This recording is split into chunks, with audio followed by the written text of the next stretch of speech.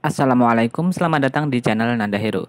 Di video kali ini saya akan bagikan tutorial tentang bagaimana cara menghapus riwayat notifikasi pesanan di aplikasi Shopee. Nah, langsung saja kita menuju ke tutorialnya.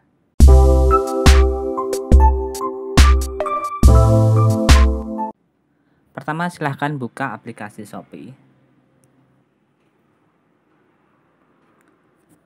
Nah, di sini di bagian bawah ada banyak notifikasi yang belum dibaca, silahkan teman-teman tap menu notifikasi. Selanjutnya untuk notifikasi pesanan silahkan gulir ke bawah. Nah, ini adalah e, bagian notifikasi pesanan. Silahkan teman-teman tekan tanda sudah dibaca.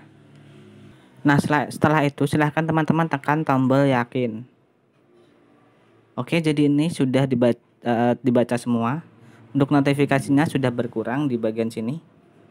Lalu kita untuk menghapus e, notifikasi ini, teman-teman tinggal tekan lama, lalu tekan hapus. Nah,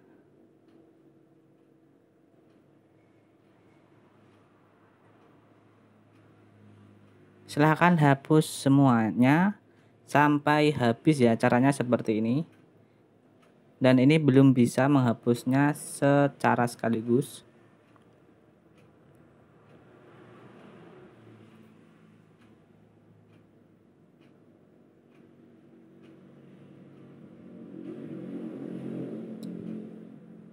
Oke silahkan hapus semuanya teman-teman.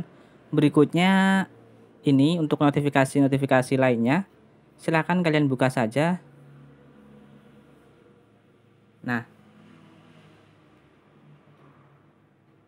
kalian buka seperti ini. Nah kemudian kalian buka saja. Nah silahkan gini buka saja. Lalu gulir. Kembali.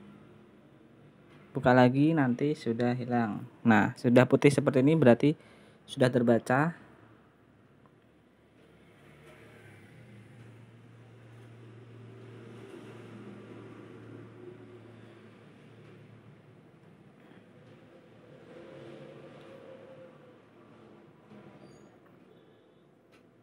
Nah, seperti ini. Maka untuk notifikasi di sini sudah habis. Berikutnya teman-teman juga bisa menghapus e, riwayat chat dengan penjual. Tekan lama. Hapus. Tekan lama lagi, hapus.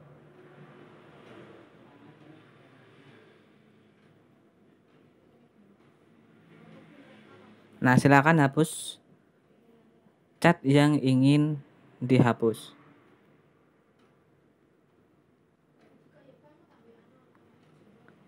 Nah, selanjutnya pergi ke saya, lalu ke ini beri penilaian atau selesai ya, teman-teman. Nah, ke menu selesai. Untuk penghapusan riwayat pesanan di sini itu belum ada ya, teman-teman.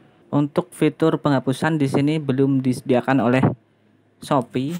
Jadi itu saja yang dapat saya sampaikan yaitu bagaimana cara menghapus notifikasi pesanan di aplikasi Shopee.